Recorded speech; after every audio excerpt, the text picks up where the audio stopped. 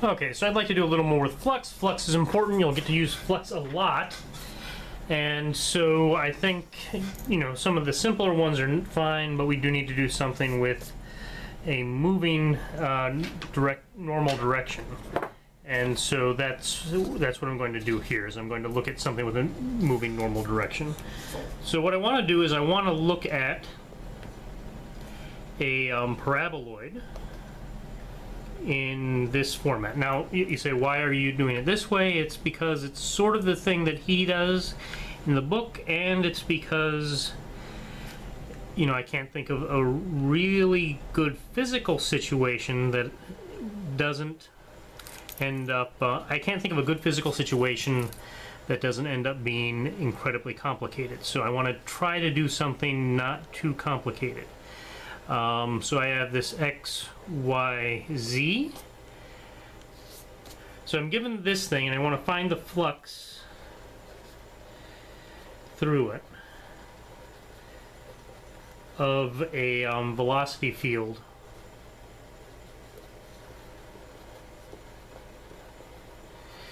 uh, that is going to be something like x minus y f0 over 2. Uh, basically, this is a sort of circulating thing, right? Or it's not circulating, it's actually just going to be pointing this way. X, x minus y, so it's going sort of this way. Right, the velocity field is going this way. It's going through this thing. Some of it actually hits through this um, surface. I want to figure out how much is going actually of, the, of that flow is going through this surface. Okay, so that's that's what we're trying to figure out. So we're given uh, the paraboloid. Okay, and so when it hits down here, it has a radius of h. So we have just sort of a circle looking thing there, and then it reduces as it goes up there better be a h here so we keep our units the same. So each one of these has units of, meter, of, of meters, has um, dimension of length. So we have length squared, length squared, length squared, length squared. That's dimensionally homogeneous. We're good. Um, now, I know you don't like it when I have um, dimensional homogeneity. Um, well, you don't like it when I talk about stuff like that, but it's really, really important right? I'm, I don't want F0, I want V0. Um, I don't care about the field, I want it to be a velocity, right? So I've got this velocity field V0 x minus y over the square root of 2. So this is all a this is all unitary. And so we have I have a simple velocity function. I'm going to have a complicated surface normal, right? So what do we want to do? Well, first, oh well, and I want to find the flux.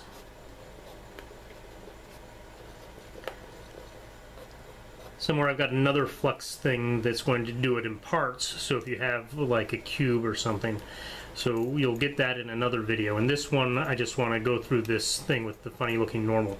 Um, just because, you know, you have to do that from time to time. So we need to find the surface normal.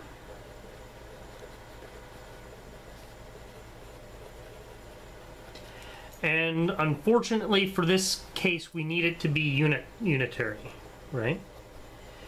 So in a couple of in a couple of places previously, I didn't have to use a unitary normal, right?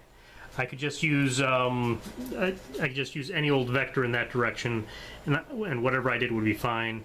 In this case, we need to we need to scale it to um, one, so that it's so that its um, size is always one. I mean, that's not the world's most difficult thing. It's just, you know, it's one more thing, and it makes things look a little worse. Um, but it's not really that important. We can um, do all sorts of things with it. So, uh, when we try to do this, what do we have? Well, what we want to do is we just want to get all these x's and y's and z's in the same place.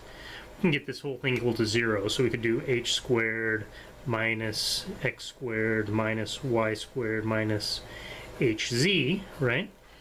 And uh, then we take the gradient here, So the gradient is going to be the, in the x direction, it's going to be the x derivative of this thing, which is minus 2x, right? Um, and plus the, in the y direction, it's going to be um, minus 2y, right? And plus in the z direction, it's going to be minus h, which is which will be a constant. Oh, we can live with that. Um, and the size of this normal is going to be equal to what kind of room do I have? Not, not too bad. It's going to be equal to 8 squared plus 4x squared plus y squared. All right. Units are still okay, right? Um, so that's that's perfectly fine. We can pull out that annoying little h, right? And we can just do h times um, the square root of 1 plus 4 over h times x squared plus y squared uh, to the 1 half. And that'll probably do us quite well. Uh, this is also going to be the surface element size. So that means that I can just write n as n over the absolute value of n and we'll be fine. Um, so like I said, we now need to find the size of the surface element.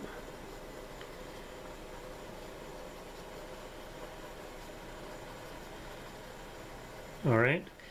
And so what is the size of the surface element? Well, the size of the surface element uh, was this thing, the square root of 1 plus, uh, what was it, uh, dz dx squared plus dz dy squared.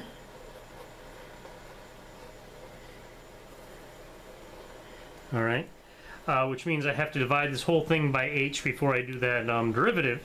So I end up with uh, 2x, I have 2x squared um, over h squared. Right, so let's see, how does this work?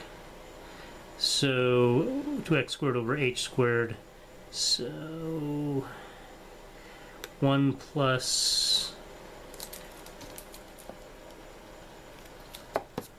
Oh, this is 4 over h squared up here, so I'm saved. Alright. Squared plus y squared. Ah, look at that. See how close those, those two things are? So uh, we can just rewrite this as n over h times s. And then we'll be able to cancel out those s's and everything will be hunky-dory. Don't you like planning ahead? Planning ahead is good. Um, by now you should have noticed this, right? You should have done enough of these problems by the time we got here that you should have noticed how often this um, denominator and this surface element size are related and they just cancel each other out in most of these problems. And so, uh, you know, that's awesome and you can plan for that, but it's probably better at this stage to just make sure that it's true by, by doing all this stuff. It's not really necessary most of the time, but it might help you out later on, right? So let's just live with it for now and not get not get too fancy, right? We don't want to get really, really fancy at this point uh, because we are not yet as amazing as we will be, right? All right, so we want to set up the integral.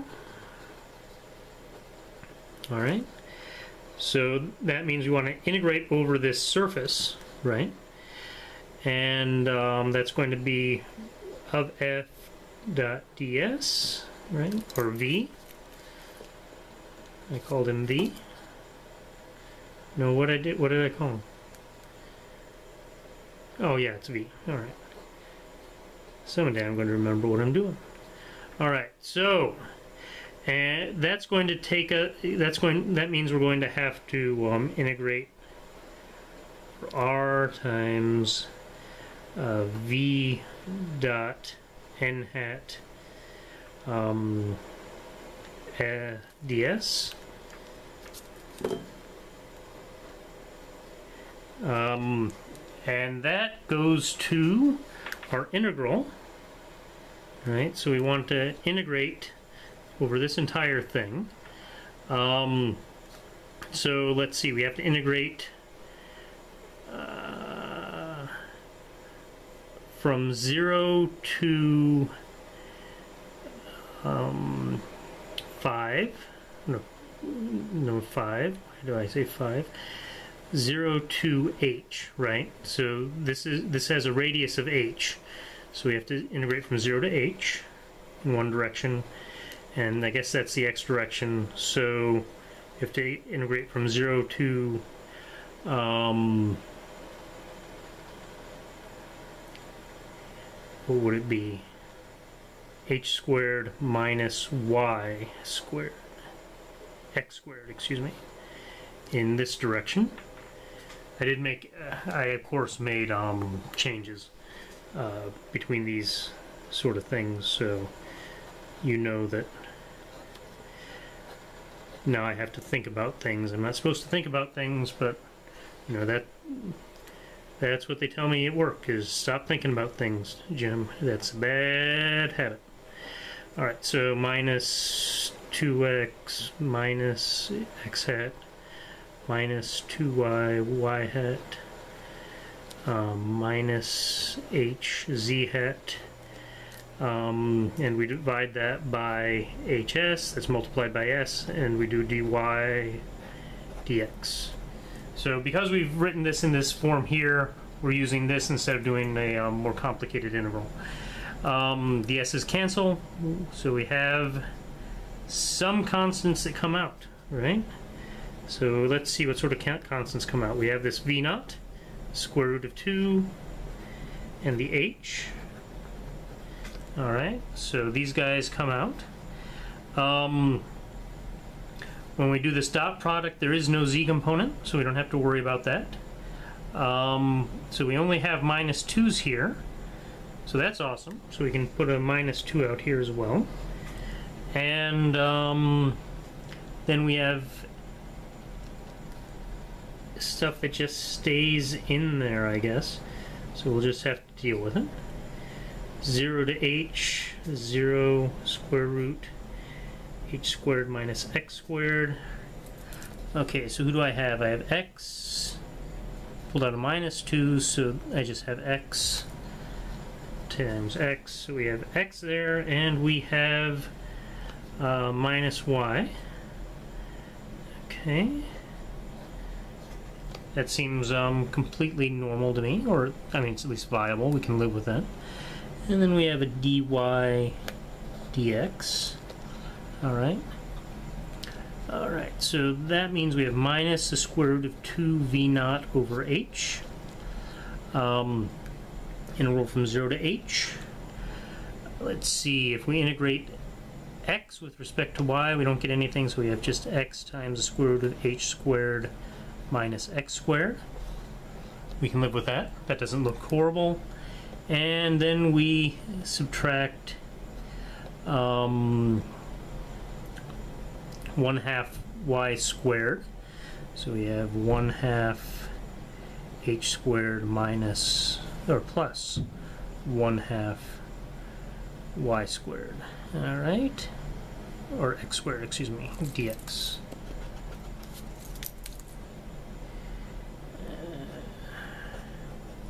All right, good, good, good. So most of these look marginally um, integrable, right?